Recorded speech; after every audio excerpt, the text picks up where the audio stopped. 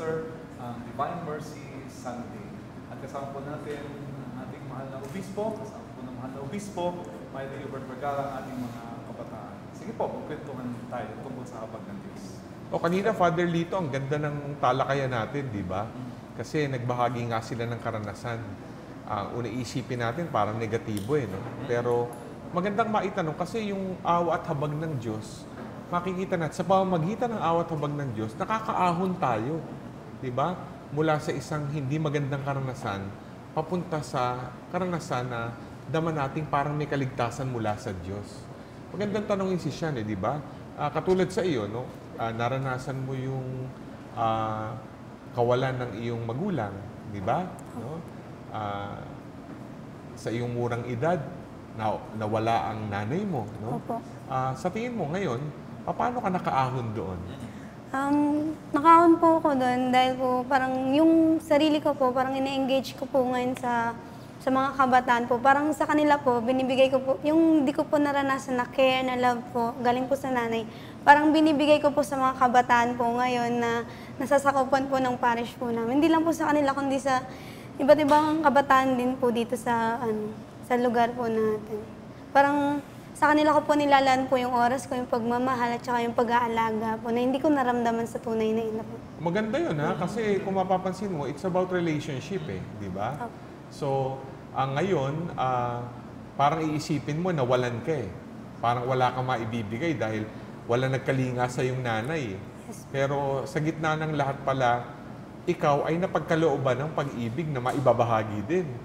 At ikaw ay nagsisilbing ah, saksi ng pag, pagkalinga, parang kang ina naglilingkod sa kabataan eh. At No? saka Bishop, yung ano, yung yung nabaling yung attention niya sa simbahan. O yun, maganda yun. Parang yung simbahan na naging instrumento ng ano mo, di ba? Ng Yes. kapal ng Diyos. No? Yes. O- okay yun ha. Opo, ganun po. Happy ka ba sa simbahan? Sobra po, sobrang fulfill, napupulfill po yung ano, longing ko po. Meron ka bang isang karanasan na sa iyong paglilingkod na masasabi mong ah, hindi mo makakalimutan? Yun po yung ano, yung mga hindi ko po makakalimutan na karanasan. Yung pong, kada po magkakaroon po kami ng activity, parang yung mga kabataan po, naging masaya po sila, yung napufulfill doon po sila. Tapos, para pong nailalapit din po namin sila kay Lord. Yun po. Oo, iba yun ha. Tamo yung word na napapalapit kay Lord. No? So, once you bring the Lord to others, there's fulfillment sa iyong puso. Yes po. Ibang Bishop, hindi niyo po natatanong yung sa Our Lady of the Poor, ang dami pong kabataan na active.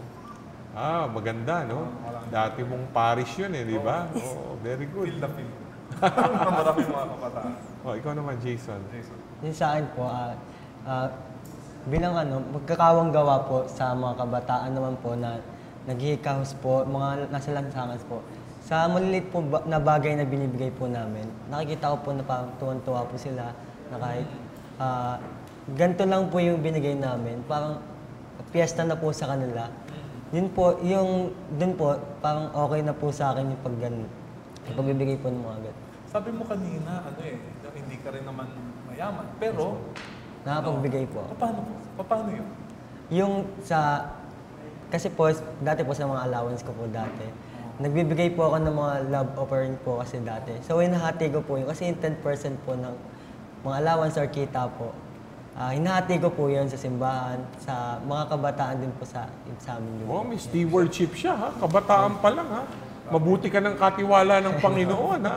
Ah, sana ah, yan ay maibahagi mo pa kasi minsan yan ang kulang eh. Lalo na panahon ngayon, mga kabataan, iisip lang ang sarili. Yes po. Pero ngayon, nakikita mo, ano, ah, walang taong nabubuhay para sa sarili lamang. Di ba? Awit yun. Oo, walang sino man na nabubuhay sa Saka sarili maganda lamang. rin matutunan, hindi natin pwedeng sabing wala kasi meron naman eh.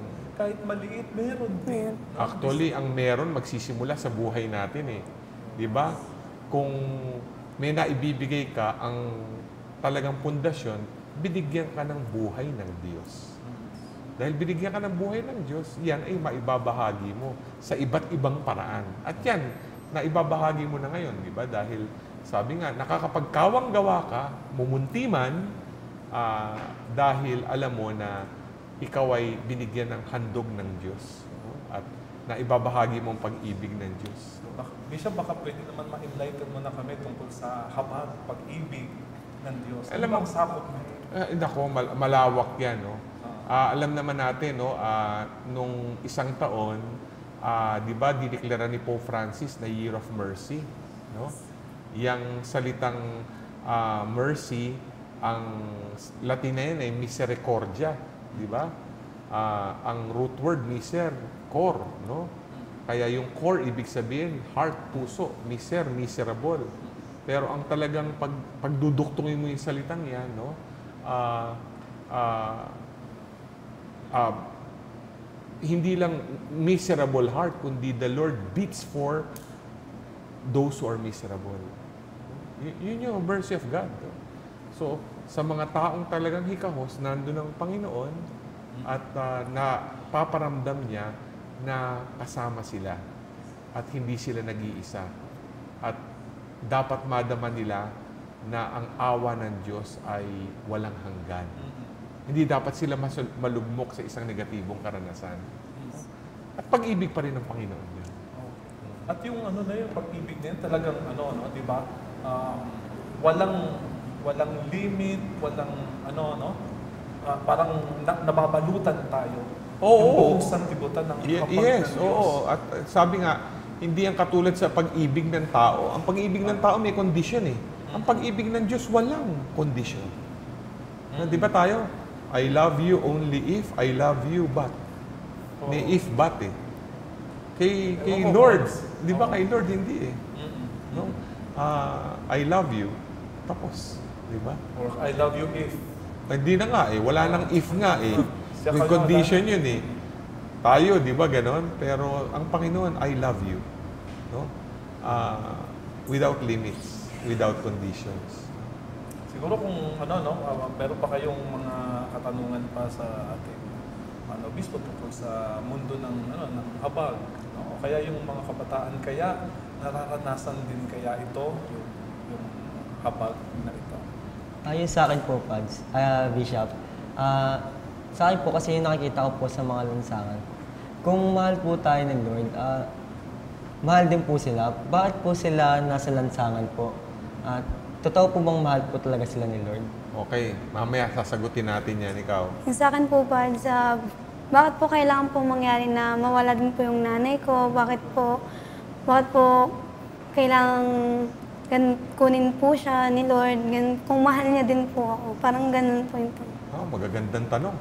At ah, itong lahat ng mga katanungan ito ay masasagot natin pagkatapos ng ah, ah, mga paalaalang ito at babalik tayo sa ating palatuntunan. Hashtag blessings.